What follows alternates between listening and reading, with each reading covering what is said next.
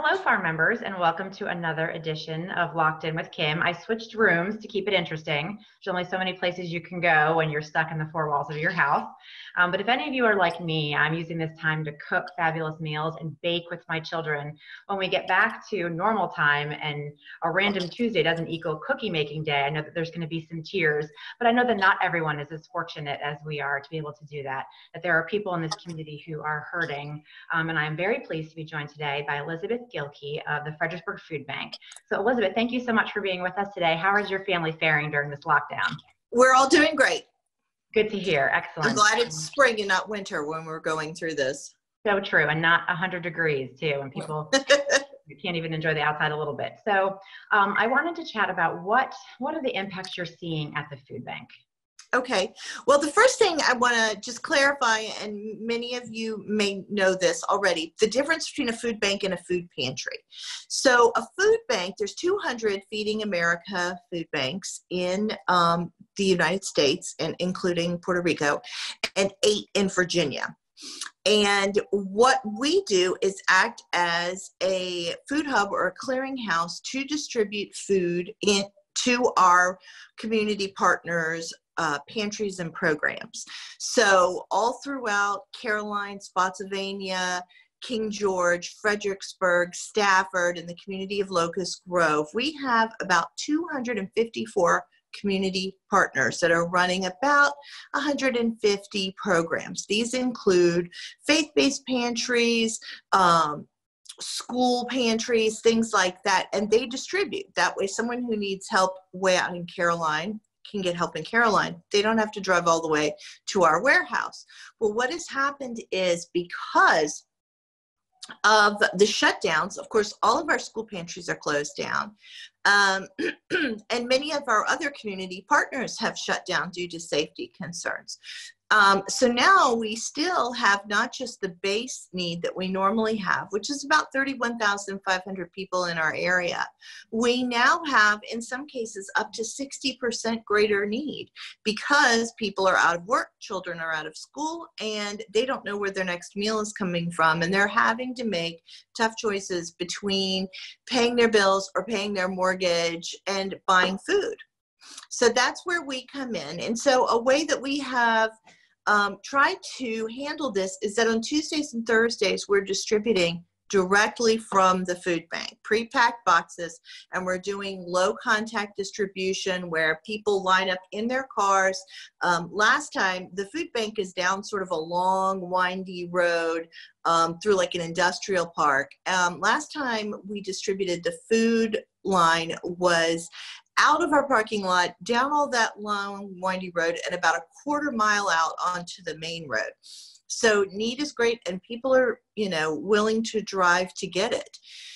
So what we need right now are are really um, three things. The first thing is that we need food just flat out. Um, I don't know if you saw on the Today Show, they did a whole thing about Feeding America and about how we're trying to bid on food, but sometimes we're being outbid by grocery stores.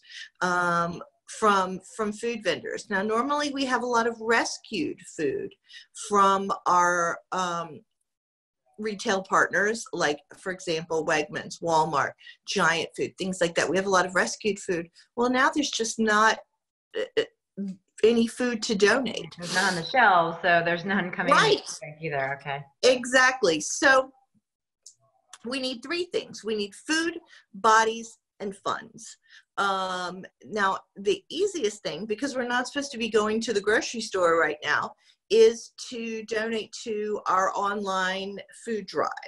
And an advantage to that is, is that, for example, if you wanted to donate a pallet of, you know, physically donate a pallet of peanut butter, um, what that would cost you is very different than what it would cost the food bank because we wouldn't just buy one pallet of peanut butter. We would probably buy 400 pallets of peanut butter. And so we would get a better price. So that's where the funds come in. Now, if you have food you'd like to donate and you are worried about um, being in a situation, you know, if you're going through your pantry or whatever, and you're worried about being in a situation where you can donate, we have a drop box. Um, you can come after five, and we're not open Friday, Saturday, and Sunday. So that would work as well.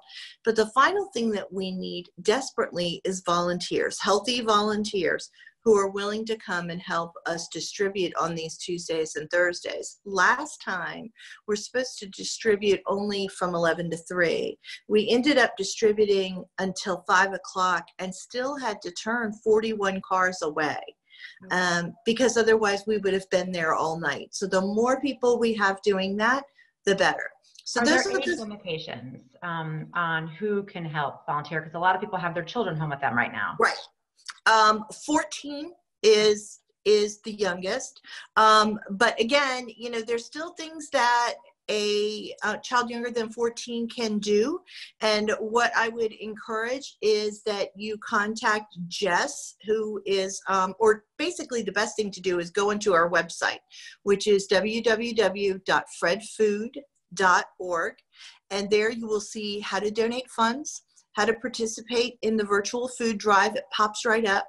And if you go to where it says get involved, you can register as a volunteer and let them know the ages of your chil- ch- children. And someone will contact you to talk about things that your child can do. That's such a great outlet right now for unique things to do for the kids, giving back to the community, and, and, to help out the food bank. So, we actually currently have a FAR virtual food drive going on. So, again, that site is fredfood.org. The first thing that pops up says virtual food drive. You click that, the FAR one is all the way to the right. And you can, when you pull up that site, you can look at and buy individual things of food. You can pick what you want to buy and contribute. Um, we have a long history of a partnership with the food bank. Um, you know, we continue to do our cereal drive every October, right. which we will definitely do again. Um, but I know a lot of people want to know how they can help right now. And really, what you said, foods, funds, um, and volunteers. That's a, a, great thing for us to focus on. And what if you you need help, or you know someone in your community for you need that you need help that needs help? Where do they go? Well, there's a couple things they can do. The first thing is, again, you can direct them to the website. But the other thing is, we now have an app called Fred Food VA, and that can be downloaded to any uh, smartphone for free. And what they can do is it gives real time information on food assistance available near them.